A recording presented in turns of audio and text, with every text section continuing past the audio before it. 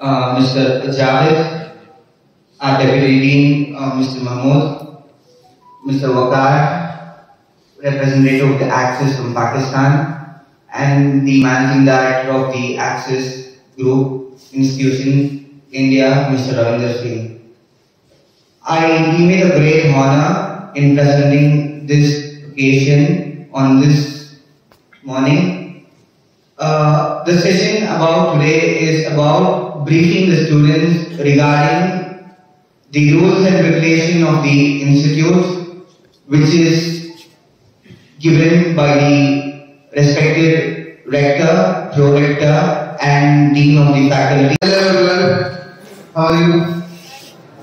Good morning to our respected Vice Dean, our Poonam uh, Wakar sir, Javed sir, and the Director of the Actis Institute, Mr. Ravi. So, let's begin further to the states. Then there is a channel, there are steps. There are some associates, sub-associates, contractors, subcontractors, and finally you come to us. Both the countries, you have a lot of choices. You have uh, different different countries to visit, choose to go for your medical education, and then you have different institutes to choose uh, for your education. First of all, with folded hands, I thank you very much for choosing us and choosing Samarkand for coming here. Because here, here, just us. It's access we feel you. But when you start, when you cle- clear your 12th class, then you know, lot of options are available. It's become very difficult. And once we have taken a decision, then we are associated for you know very long period of time. It's not a one month, two month relationship. It will continue till you become a doctor, and if you want, you can continue with me for whole of the life.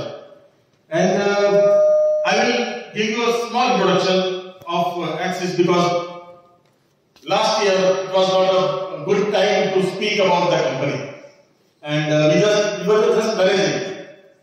And uh, is a part of a bigger group, and that group has we have offices in mountains of Istanbul. We have offices in jungles of Tanzania.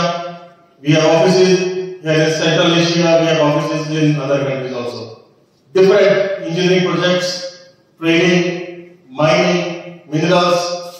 A vast uh, portfolio we have. Axis uh, started from this group I think seven, eight years ago, and now Axis itself is a group in itself. We have multinational presence. We are now uh, having our presence in the Central Asia in both all three, three countries. Uh, Kyrgyzstan, Kazakhstan, Uzbekistan. We have presence in Philippines. We have presence in Germany. We have presence in Poland. And if everything goes well before March, we will have a contact office in Spain also. The idea is, I'm not, I'm not uh, marketing it. We are uh, pursuing our um, medical education 10 plus 2. After 10 plus 2, we are doing your MBBS. We also have post graduation. We also have non medical courses for our students. And students from India and other countries, they are going in all these destinations to pursue their higher education. My idea to communicate to you is this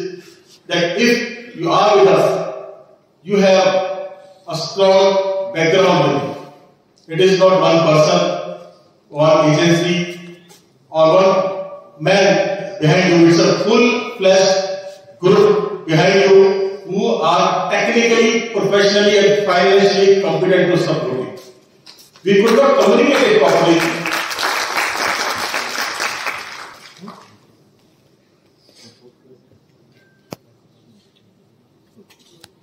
के सामने क्या है axis support support का मतलब मैं आपको बता दूँ कि जब हमने एक्सिस स्टार्ट की तो हमारे साथ हमने ऐसा नहीं सोचा था we not think it will commercial venture of course commercial finances business आता है बीच में। इट कम्स इनटू पिक्चर लेकिन it was not the sole move we try to give a different picture because we were we knew that this business is full of flaws full of, you know, confusions, full of complications, so we try to make it simple.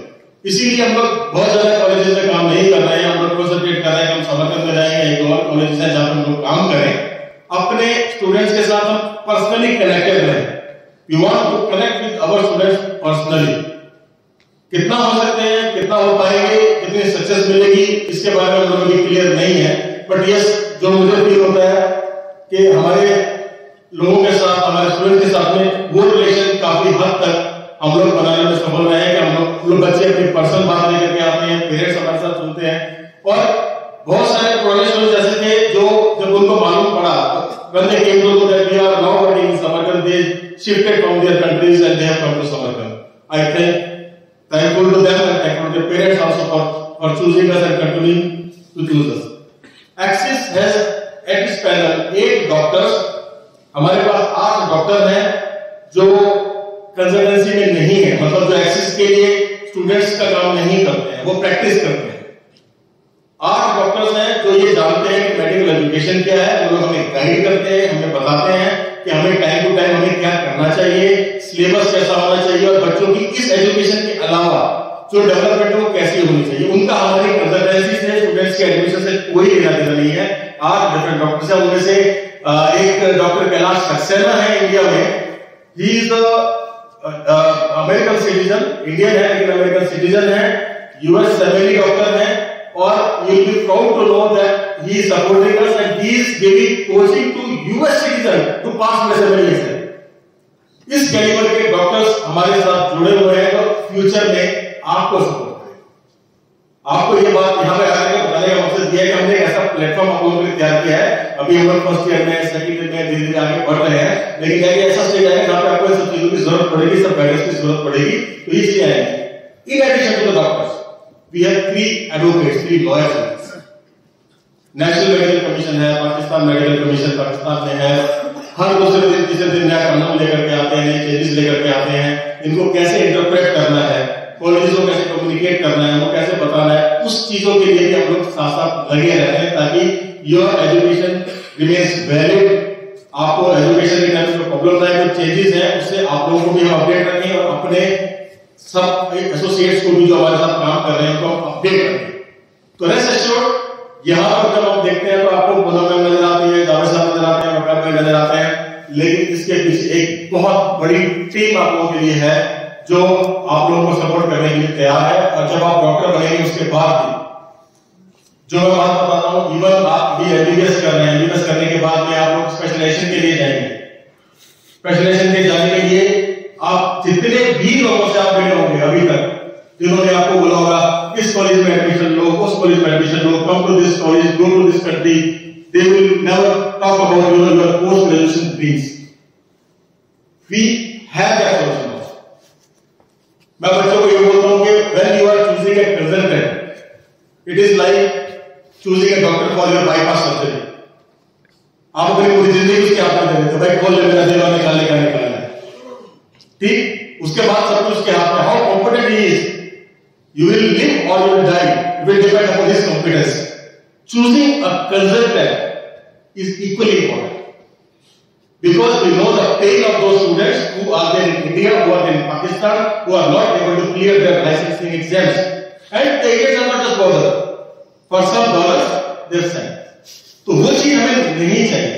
अब मैं बच्चों को पूछता हूँ ठीक है, अगर एक कैंडिडेट आपका एक बच्चा इन्वेस्ट कर लेता है, हम चाहते हैं, हमारे दिल से दुआ है वो मेहनत करे, अपने कंट्री का लाइसेंसिंग एग्ज़ाम पास करके वो डॉक्टर बने। लेकिन one percent if is not able to do do they have any solution nobody will give a solution. But before starting this consultancy, we started working on अगर हमारा बच्चा अपने country में जाकर के लाइसेंसिंग एग्ज़ाम नहीं क्लियर कर पाता है तो उसको फ्यूचर में क्या सॉल्यूशन देना है? उसकी ज़िम्मेदारी भी हम लोगों ने अब संभालनी है। उसके सोल्यूशन हमारे पास में है। अभी हमारे बच्चे इनफैक्ट अभी ग्रेजुएट होके निकलने शुरू नहीं हुए हैं, इस साल से आने शुरू हो जाएँगे। लेकिन दूसरे कॉलेज के बच्चे जो है, उनको हम लोग गाइड कर रहे हैं, जो अभी नहीं कर पाए थे दो दो तीन तीन साल तक एग्ज़ाम नहीं क्लियर कर पाए तो उन लोगों के लिए सोल्यूशन निकाला है। तो रेस्ट एश्योर्ड हमने यहाँ मेहनत करनी है, यहाँ से तरीके से पढ़ के जाना है, अपने कंट्रीज़ में लाइसेंस एग्ज़ाम पास करना है, उसके बाद भी if you need us we are there for you throughout your life to support you in your career.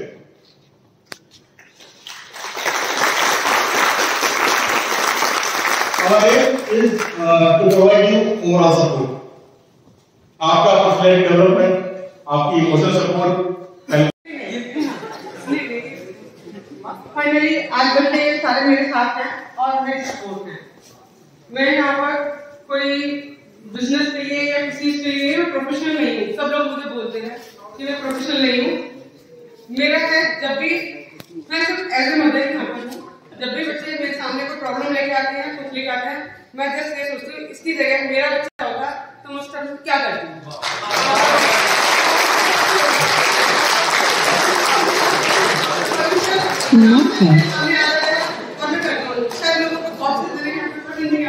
बाद में प्रे करते हैं उस टाइम पे वो भी करते हैं हर बच्चा तुम्हारा बच्चा नहीं होता है सब अलग अलग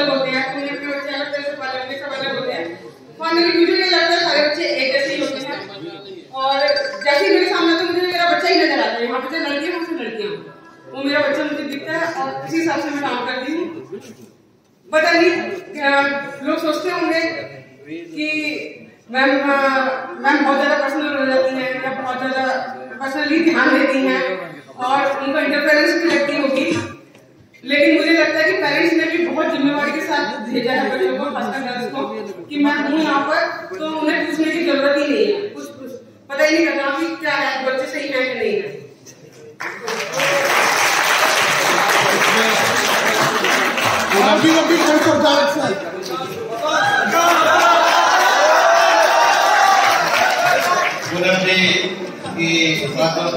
बातों में थोड़ा सा मैं ऐड करना चाहूँगा जैसे कहा बच्चे मैं बहुत से इंस्टीट्यूट देखे, जितने भी कंसल्टेंट हैं और कंपनीज़ है, वो सब स्टूडेंट करके एड्रेस करती है।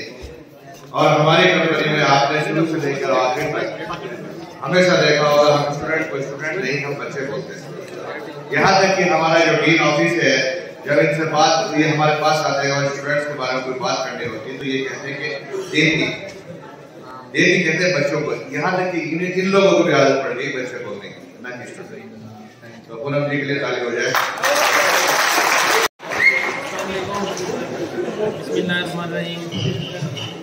उम्मीद करता हूँ सब खैरत से होंगे। बस एक मैसेज दे रहे हैं। ये हमारा टाइम में ये बहुत इंपॉर्टेंट है। देखिए, वो बहुत जल्दी से टाइम गुजर रहा है। आज भी एक दिन याद है चौदह बच्चे शायद हमारे साथ आए थे यहाँ पे। अल्हम्दुलिल्लाह, आज हम साढ़े तीन सौ बच्चे हैं। और बहुत मेहनत कर रहे हैं बच्चे। मैं उम्मीद कर रहा हूँ कि इंशाल्लाह अपने आप को कंटिन्यू करेंगे और नेगेटिव सरगर्मी से निकल के इंशाल्लाह पॉजिटिव की तरफ़ जाएँगे। और मेरी कोशिश ये है कि हमारे बच्चे खासतौर पर कौन ज़्यादा बैठे हैं लास्ट टाइम ये ताशुन गए थे और वहाँ से कुछ इनामत ले लिए हैं वो हमारे लिए पैसे फखर है। और मैं कोशिश करूँगा कि बाकी बच्चे जितने हैं वो भी इन, इन सरगर्मियों में हिस्सा लें।